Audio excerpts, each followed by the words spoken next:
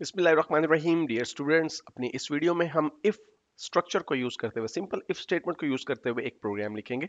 तो इस प्रोग्राम को लिखने के लिए मैंने Dev C plus plus open किया हुआ है। मैं एक सोर्स फ़ाइल को सिलेक्ट करता हूँ और मैं यहाँ पर सबसे पहले इंक्लूड करता हूँ अपनी जो रिक्वायर्ड फाइल्स हैं। आपको मालूम ही होगा कि हमें S T D I O dot header file include करनी है लाजमी। उसके बाद हमें इंक्लूड करनी है conio dot header file okay उसके बाद वाइड मेन और ये, यहाँ से अब हमारा प्रोग्राम एक्चुअली स्टार्ट होगा। तो मैं यहाँ पे एक वेरिएबल डिक्लेयर करता हूँ। वही प्रोग्राम जो मैंने लिखा था, मैं उसे यहाँ पे आपको डिमॉन्स्ट्रेट करके दिखाता हूँ।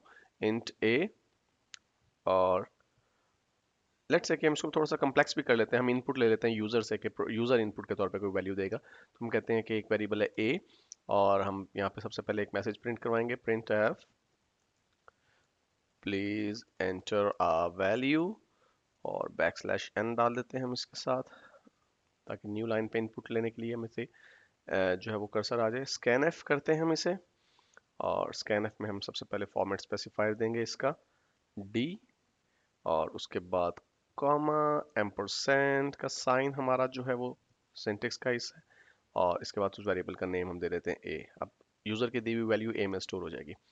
अब यहाँ पर मैं इफ़ स्टेटमेंट का इस्तेमाल करूँगा। If a is greater than or equal to 10 तो फिर क्या होना चाहिए? प्रिंट करवा दो। Print F the value is greater than 10 okay okay.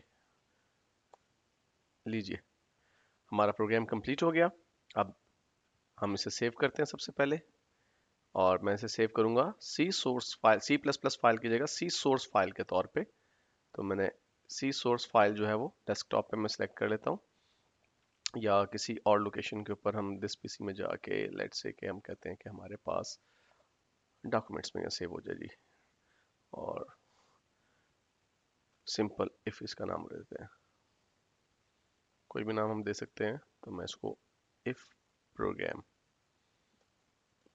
मैं इसे सेव किया। सेव करने के बाद हम इसे कंपाइल करते हैं और कंपाइल एंड रन इकट्ठा भी कर सकते हैं, लेकिन मैं पहले इसे कंपाइल करता हूँ ताकि अगर कोई एरर हो तो सामने आ जाए।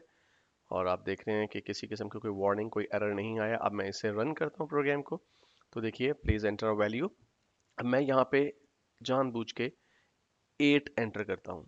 मैंने एट एंटर किया और फिर एंटर प्रेस किया। आप देखिए कि यहाँ पे हमारे पास कोई मैसेज यहाँ पर डिस्प्ले नहीं हो रहा। और उसकी वजह बड़ी क्लियर है क्योंकि मैंने जो इनपुट दिया है वैल्यू के तौर पे वो 10 से कम है। 10 से कम होने की वजह से ये कंडीशन फॉल्स हो गई। कंडीशन फॉल्स हो गई तो ये मैसेज प्रिंट नहीं हुआ। ओके मैं इसे दोबारा से रन करता हूँ और अब की बार मैं जो इनपुट इसे दूँगा, मैं 25 देता हूँ। और देखिए the value is greater than 10 ये स्टेटमेंट